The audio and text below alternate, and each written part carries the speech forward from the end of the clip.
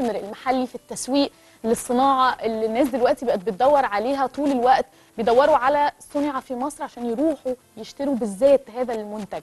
آه، ضيفتي الكريمة آه، اللي هتتناقش معانا النهارده في هذا الملف الأستاذة دينا الدليل عضو المبادرة الوطنية لتطوير الصناعة المصرية. ابدأ. أهلا بيكي يا أستاذة دينا. صباح أهلا الخير. وسهلا. صباح الخير. أهلا يا أستاذة دينا. وبالتأكيد يمكن آه، آية ذكرت العديد من النقاط لكن خلينا نتوقف عند أهمها إن إحنا هذه المبادرة من أهم أهدافها إن هو إن إحنا نقلل الفجوة الاستيرادية. ده حقيقي. إن إحنا نعتمد بشكل كبير على المنتج المحلي المنتج المصري.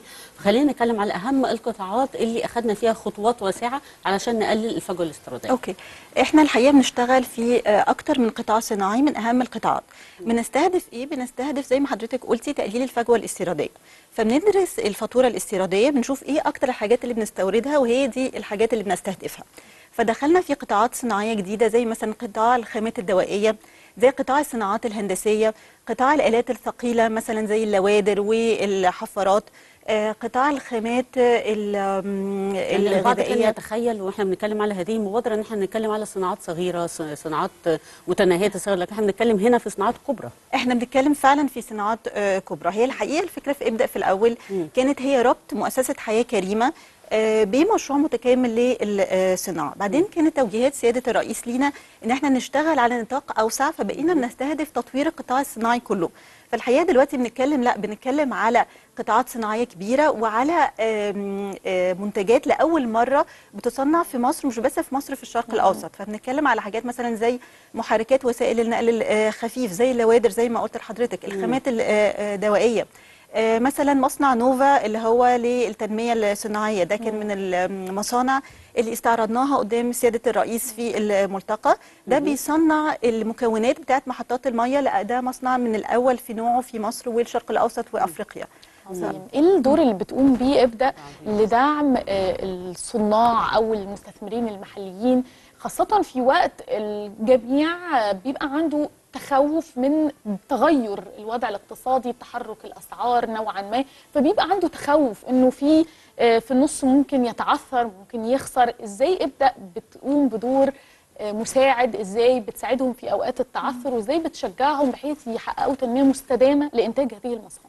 آه، ده حقيقي. إحنا من أهم المحاور اللي بنشتغل عليها محور دعم الصناعة. ده بندعم فيه كل المصانع القائمه في المحافظات. كمان بنساعد المستثمرين الجدد إن هم يبتدوا المشروعات؟ بتاعتهم. الآلية إزاي؟ بن... بنساعدهم بنشتغل بتنسيق كامل مع كل الجهات في الدولة. ده أول حاجة مع الوزارات والحقيقة عندنا دعم كامل للمبادرة الرئاسية من آه، رئاسة مجلس الوزراء من الوزارات من كل الجهات تمام؟ فبنعمل بنشتغل معاهم على تيسير إجراءات تسهيل أي مشكلات آه، بتقابلهم. آه، بنعمل تحول رقمي آه، للمصانع أي مشكلة بتقابلهم بنبقى معاهم.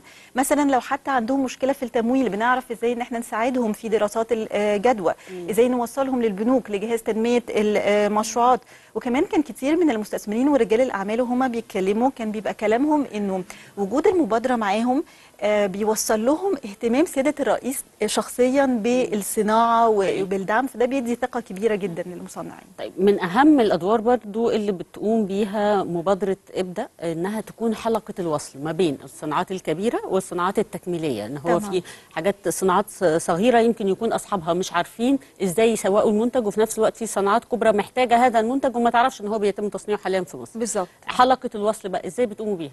طيب إحنا عشان إحنا بنتعامل مع المصنعين الكبار وبنتعامل مع المصانع المتوسطة والصغيرة فبرضو من أهم الحاجات اللي بنعملها إن إحنا نعمل آه زي انتجريشن أو إن إحنا ندخل المشروعات المتوسطة والصغيرة في سلاسل الإمداد. أيوة. إنه ده اولا بيفيد طبعا المصانع المتوسطة والصغيرة وفي نفس الوقت بيفيد الشركات الكبرى والمشروعات الكبرى في التكاليف بتاعتهم وبيخلينا إن إحنا نوصل لسلاسل إمداد أكتر استدامة. أيوة. فإحنا عشان عندنا زي overview للصناعة مع المصنعين فبنقدر إن إحنا نعمل زي حلقة الوصل زي ما حضرتك بتقولي.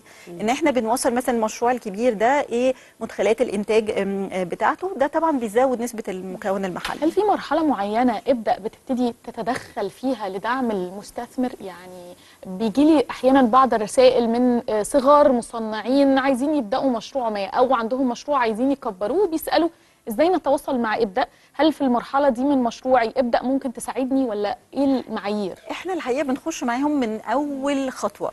يعني من أول حتى ما ممكن تبقى فكرة بيبعتوا لنا على ال website. بنبتدي إن إحنا نمشي معاهم في الإجراءات في آه، التسهيلات في المشاكل في الحصول على الأراضي الصناعية الوحدات الصناعية.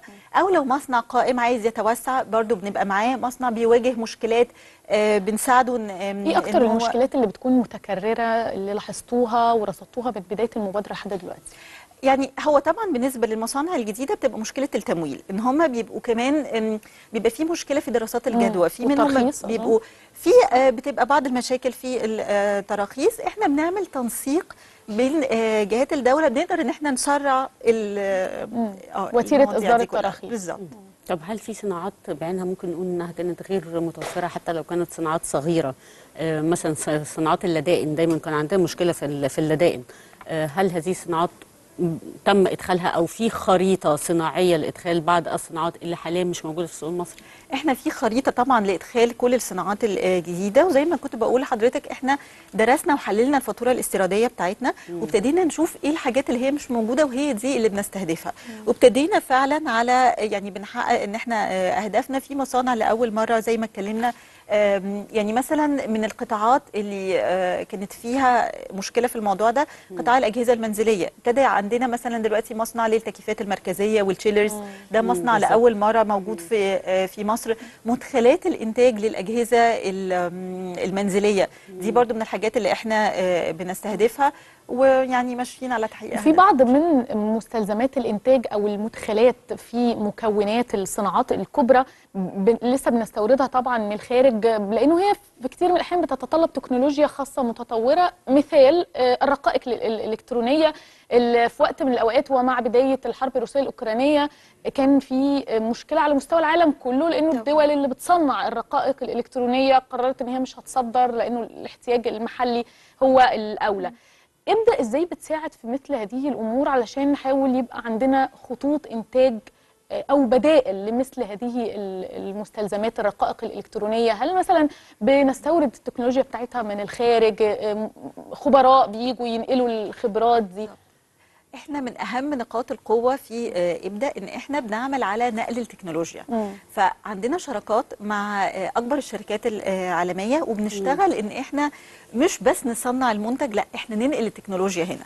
فكان في فعلا في مصانع حصل فيها نقل للتكنولوجيا عملنا خطوط الإنتاج ادونا تصميمات بتاعه خطوط الإنتاج ابتدينا إن إحنا نعملها في مصر. وكمان بعد الأزمة الاوكرانيه الروسية في كتير من المستثمرين كانوا بيدوروا على بلاد وأسواق آه، جديدة تكون مراكز للتصدير. فدي الحقيقة كانت برضو فرصة لينا إنه دي من الحاجات اللي إحنا بنشتغل عليها في جذب الاستثمارات ونقل التكنولوجيا والمعرفة في نفس الوقت. شكرا ضيفتنا الكريمة الأستاذة دينا الدليل عضو المبادرة الوطنية لتطوير الصناعة المصرية ابدا شكرا شرفتينا أفدتينا يا فندم. شكرا لوجودك.